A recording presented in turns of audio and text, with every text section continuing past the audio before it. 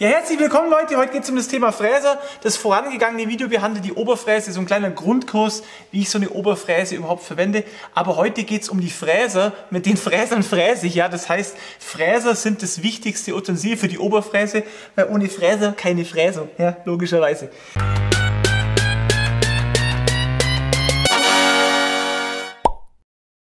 Jetzt ist es so, es gibt ganz, ganz viele verschiedene Fräser, aber es gibt doch ein, zwei, drei, vier wichtige Fräser, ohne die macht im Endeffekt eine Oberfräse keinen großen Sinn und die stelle ich euch heute mal vor.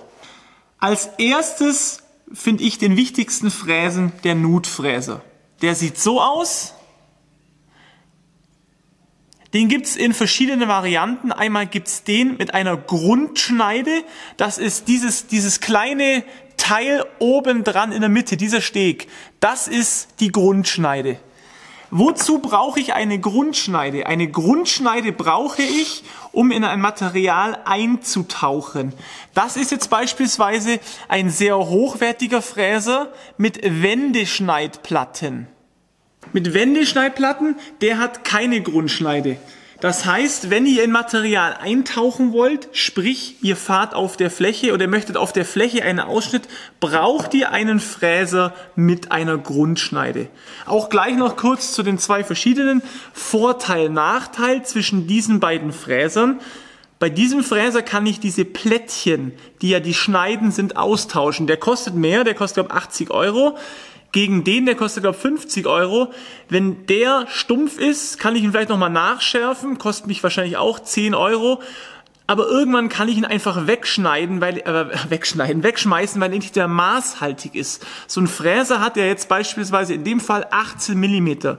Schleife ich den nach, hat er nicht mehr 18 Millimeter. Bei diesem hier wechsle ich nur das Plättchen, das heißt, ich mache diese zwei Schrauben raus, drehe das Plättchen um, dann habe ich wieder einen neuen Fräser.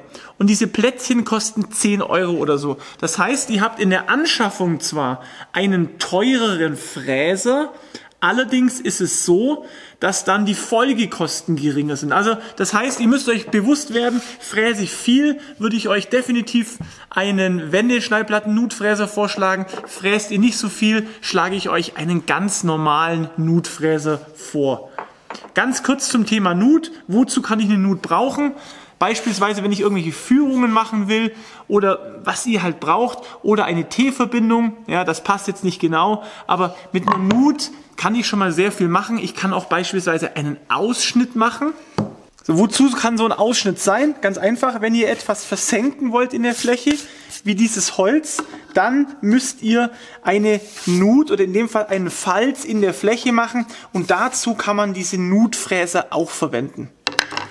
Wo wir schon auch gleich beim nächsten Fräse bzw. der nächsten Fräsung sind, denn eine Nutfräse kann ich nicht nur verwenden, um eine Nut zu fräsen, sondern wenn ich ihn einfach nicht ganz in das Material reinlaufen lasse, kann ich mir so etwas fräsen. Das nennt sich dann Falz.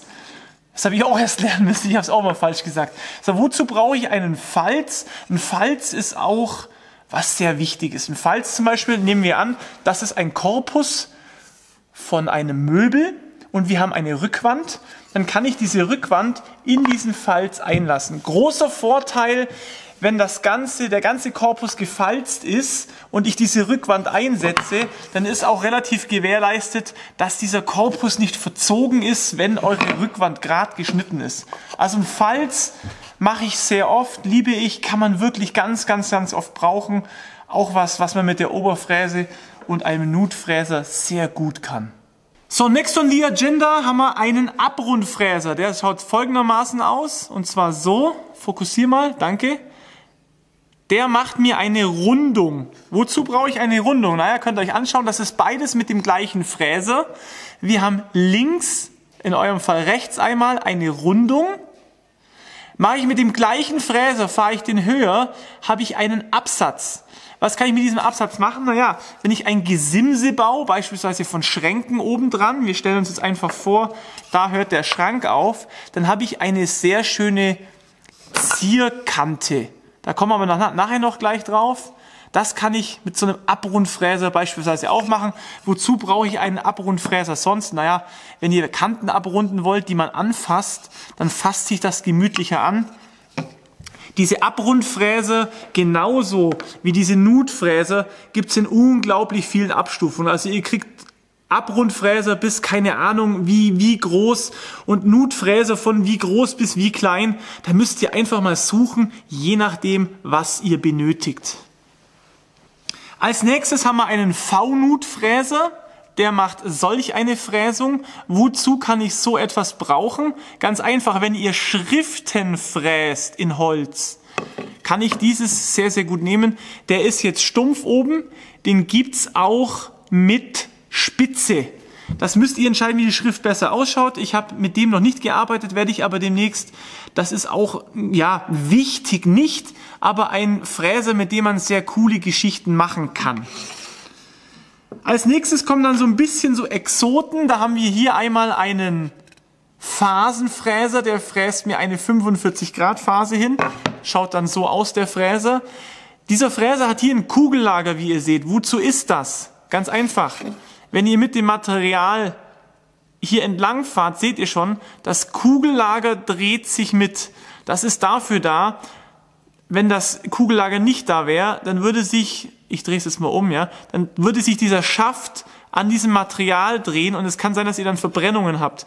Deswegen sind an hochwertigeren Kugelfräsern hier ist ein Kugellager dran, an hochwertigen Kugelfräsern sage ich schon, an hochwertigen Fräsern ein Kugellager dran, dass das nicht passiert.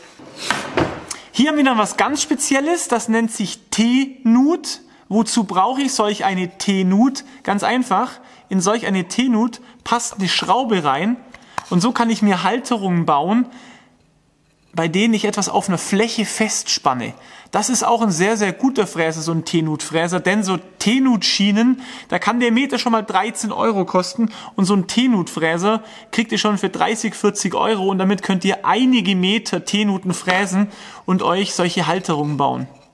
Praktisches Anwendungsbeispiel, dieser Anschlag hier, hier oben ist eine T-Nut drin. Das ist an meiner Kreissäge einfach ein Anschlag, den ziehe ich fest und dann kann ich hier wiederholgenaue Schnitte machen. Ich habe diesmal keine Mutter verwendet oder keine Schraube, sondern dieses Plättchen, welches hier ganz genau reinpasst. Das seht ihr gleich. Das Plättchen passt jetzt hier rein. Und dann kann ich hier oben diese, diese Schraube anziehen. Das zieht das Plättchen gegen die Unterkante von dieser T-Nut. Und dieses Teil ist dann auch wirklich fest. T-Nut-Fräse, also wichtige Sache. Ich habe eigentlich, brauche ihn nicht oft, aber ich spare mir damit einfach Geld. Wenn ich T-Nuten brauche, habe ich dieses Ding einfach da. Nexon Leagenda, Bündigfräser. Ihr habt Bündigfräser mit Kugellager oben und mit Kugellager unten. Wozu brauche ich jetzt Kugellager oben und wozu brauche ich jetzt Kugellager unten? Ich kann euch jetzt natürlich nicht jeden Anwendungsfall zeigen, allerdings kann ich euch mal so einen typischen Anwendungsfall zeigen, wie ich ihn oft habe. Ich habe jetzt hier einen Fräser eingespannt, der hat das Kugellager oben. Man verwechselt das gerne. Oben ist immer oben am Fräser, er ist ja hier eingespannt, also ist das oben und das ist unten, nur dass ich mich verwirrt das auch immer. Also hier habe ich den Fräser jetzt, oder das Kugellager oben. Ich erkläre euch jetzt mal kurz, wie so ein Bündigfräser funktioniert, damit ihr das auch versteht. Dieser Bündigfräser hat hier ein Kugellager. Das Kugellager ist genau auf der gleichen Höhe wie diese Schneide. Heißt, wenn dieser Fräser jetzt drehen würde und ich dieses Material hier entlang fahre, fährt dieses Material an diesem Kugellager entlang. Das heißt, hier würde es nichts abnehmen.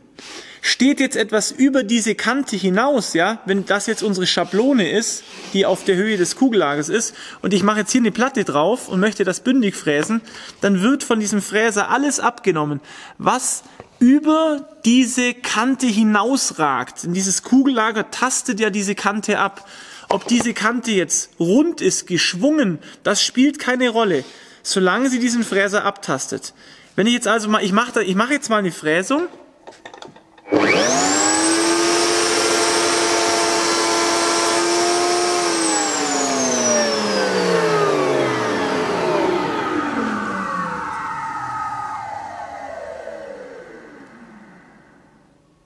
Ihr seht, dieser Fräser hat das jetzt gleich abgefräst, denn er ist diese untere Kante abgefahren.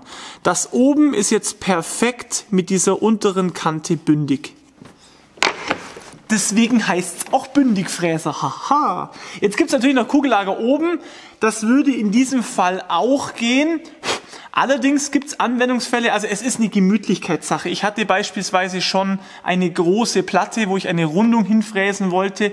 Da habe ich dann die Musterplatte genommen also die, die Platte hat den Radius, den habe ich auf die Platte draufgespannt, musste ich aber unten machen, weil ich nur den hatte. Das heißt, ich musste dann das draufspannen und das war dann, also es gibt einfach Anwendungsfälle, wo man oben und unten braucht. Ich sage euch aber, wenn ihr euch entscheiden würdet, würde ich einen kaufen mit, schwierig zu sagen, ich würde einen mit Kugellager oben kaufen als ersten Fräser. Mit dem könnt ihr was machen, was ihr mit dem nicht könnt und das zeige ich euch jetzt.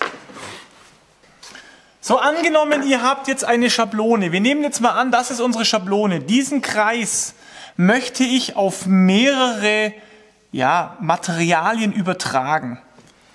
Das heißt, das ist jetzt mein Material, wo ich angenommen, ja, möchte ich jetzt mehrere Ausschnitte machen oder einfach Kreisvertiefungen. Nehme ich jetzt diesen Fräser mit Kugellager unten kann ich nicht eintauchen, weil der unten keine Grundschneide hat. Nehme ich jetzt aber diesen Fräser, der unten eine Grundschneide hat, kann ich eintauchen. In diesem Fall mit dem Fräser, in diesem Setup könnte ich jetzt nur einen kreisrunden Ausschnitt übertragen. Mache ich das Material aber höher, dann könnte ich sogar bestimmen, wie tief ich runtergehe.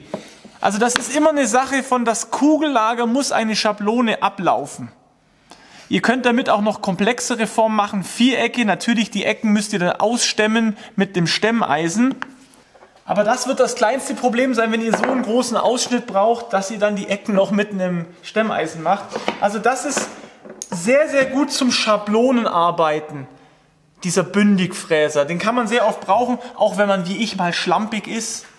Man baut sich jetzt beispielsweise wie hier einen Korpus, lässt die obere Platte, wenn es auf Stoß ist, bewusst ein bisschen überstehen, einmal Bündigfräser und das ist wirklich perfekt. Habe ich früher zum Beispiel oft gemacht, als ich noch keine Tischkreissäge hatte und nur eine Oberfräse, habe ich immer schlampig, oder halt, was ist schlampig, habe ich so gearbeitet, dass die Platte weiter raussteht, Bündigfräse einmal drüber, weil man mit der Stichsäge halt keinen geraden Schnitt machen kann äh, ich hatte früher noch eine Stichsäge.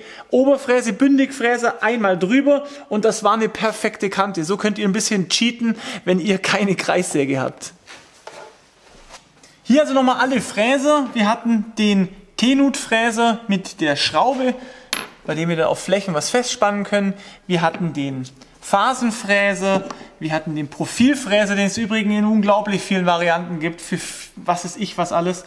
V-Nutfräser, Abrundfräser, Nutfräser, den ich als Bündigfräser, beziehungsweise, ja gut, das ist ein Nutfräser mit Kugellager, also das ist im Endeffekt so eine eierliegende Wollmilchsau, mit der kann ich Falze, Nuten und bündig, sowas kann ich euch auch empfehlen, wo wir auch schon beim Thema sind. Was kann ich euch denn so als Grundausstattung empfehlen?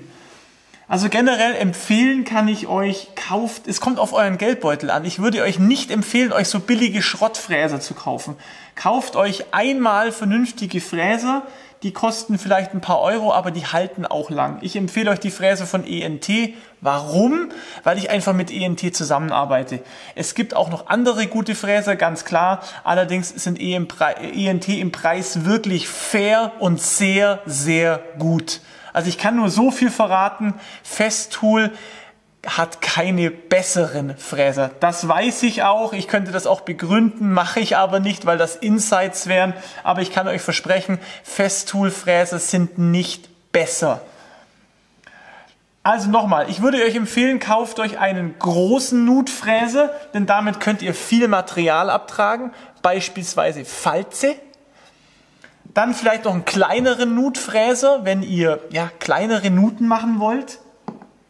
Dann einen Abrundfräser würde ich euch auch empfehlen, so 5 mm würde ich euch empfehlen. Da macht ihr kleine Rundungen, gerade wenn ihr Griffe baut oder sowas, fühlt sich das recht gut an.